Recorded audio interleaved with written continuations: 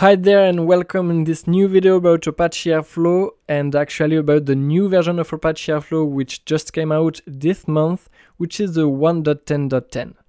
And uh, in this video, I would like to focus on an improvement that I've been made, which is related to variables. Indeed, if you remember, or maybe you didn't know it, each time you fetched a variable from the previous version of Apache Airflow, a connection was created to the metastore in order to get back the value. But let me begin with the schema so that it will be uh, clearer for you. So let's create like, like a DAG like that. So let's name it DAG. And a metastore, the metastore of Airflow, right there. Okay, so let's name it store. Okay. Now in this DAG, we let's say we have like a variable with the key my underscore var. So here in this DAG, we try to fetch the value of the variable with the key my underscore var from the metastore. So in the metastore, we will have a variable my underscore var with let's say the value 5.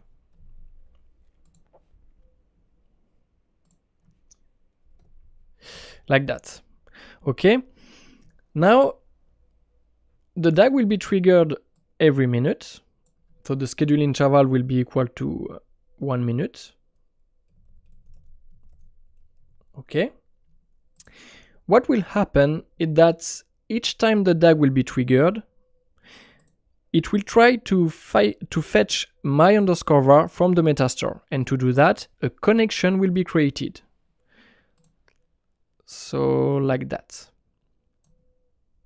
Okay? So each time the DAG will be triggered, a connection will be created in order to fetch the value from the metastore. The problem is, as you can imagine, if we have like, I don't know, like mm, many, many variable or maybe like three variables like that with um, my underscore var 2 and my underscore var 3 and here again we will have like my underscore var my underscore var 2 and my underscore var 3 where my underscore var var2 will be equal to 6 and my underscore var3 will be equal to 7, well, each time the DAG will be triggered, three connections will be created.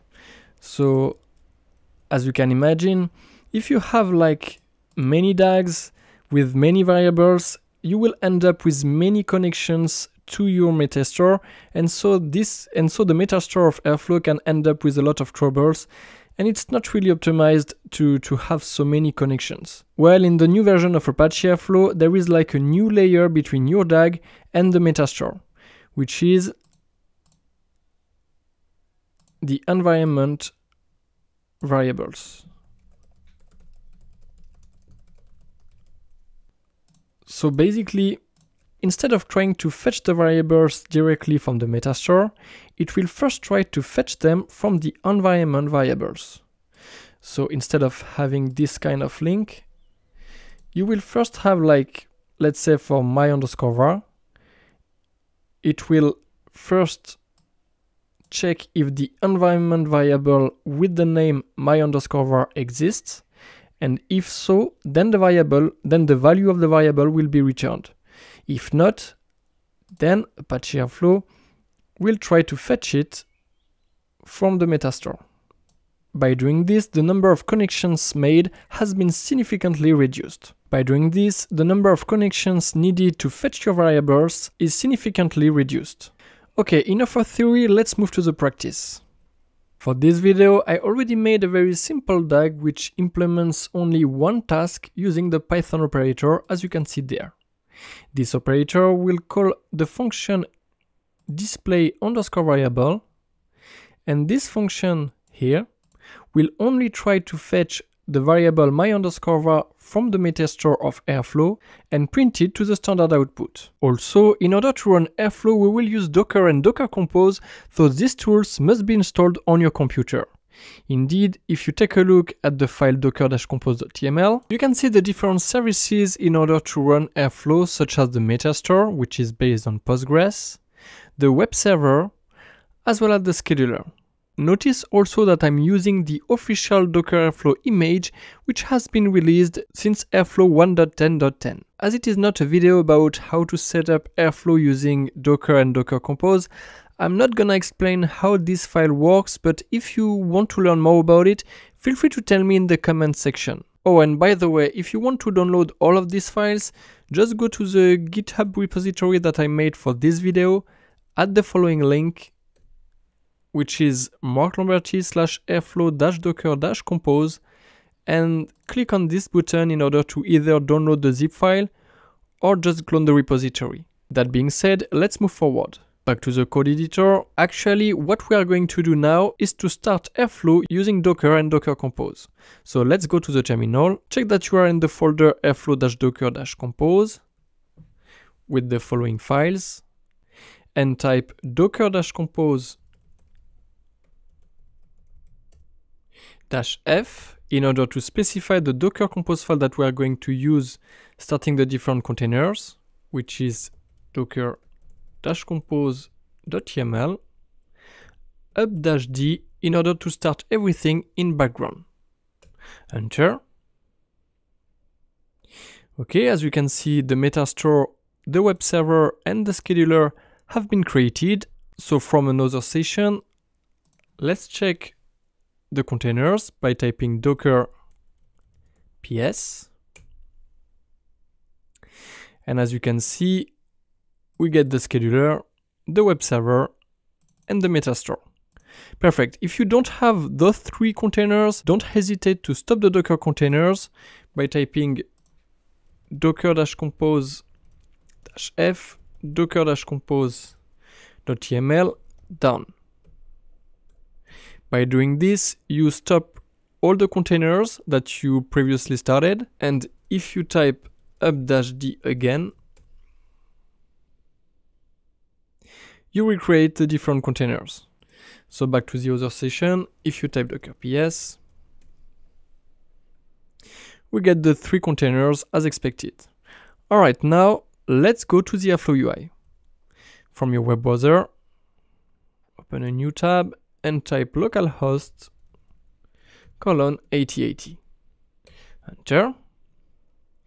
As you can see here, the DAG variable underscore DAG exists as expected. If we click on it, then go to the code, we have the same code as shown from the code editor. So the first step is to actually create the variable my underscore var to be able to fetch it from the DAG. To do this, go to admin variables, create. So the key is my underscore var. And let's put the value 5, for example. Click on save. The variable was successfully created, perfect. Go back to the DAGs. Turn on the toggle in order to schedule the DAG. Refresh the page. As you can see, a DAG run is running. If we refresh the page again, the DAG run is finished. Go to the DAG, click on Graph View, display underscore variable, view log, and as you can see here, the variable my underscore var has been displayed with the value 5. If you go back to the code of the DAG, that corresponds to the instruction here. Perfect. Now let's try to fetch a new variable called my underscore var underscore 2. So here we just put underscore 2. And this time, instead of setting it in the metastore, we are going to set it in the environment variables.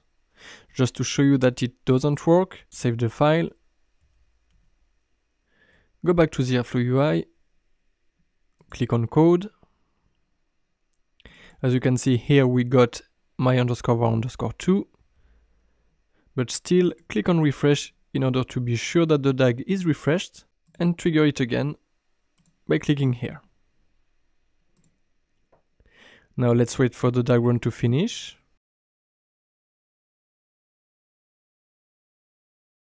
Okay, as you can see, the task failed. If you click on it, then go to view log.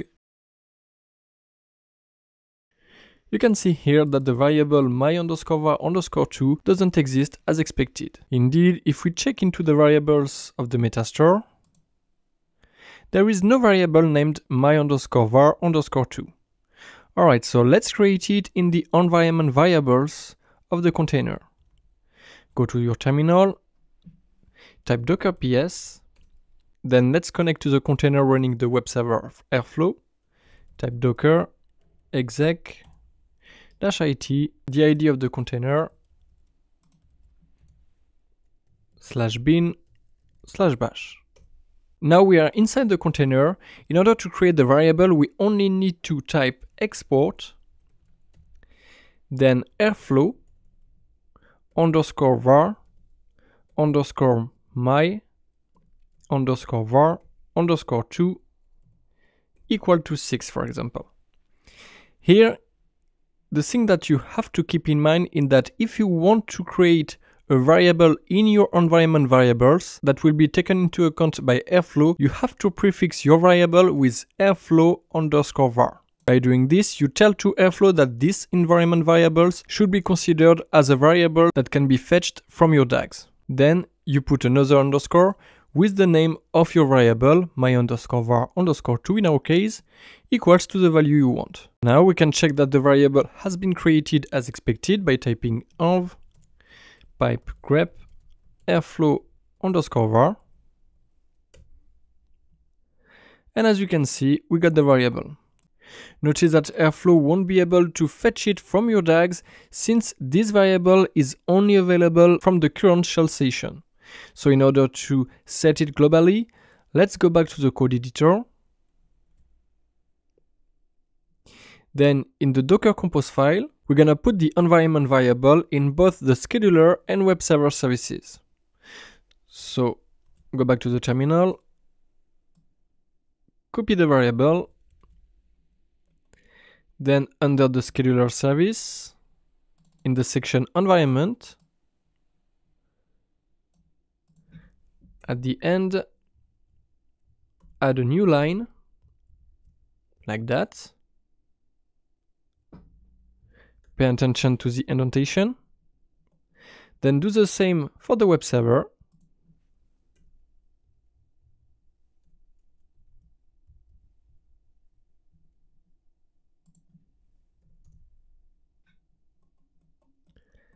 like that. Save the file, go back to the terminal, exit the Docker container by hitting Ctrl D, then type docker dash compose dash f docker dash compose.yml down in order to stop all the Docker containers. Then type docker-compose f docker-compose.yml up-d.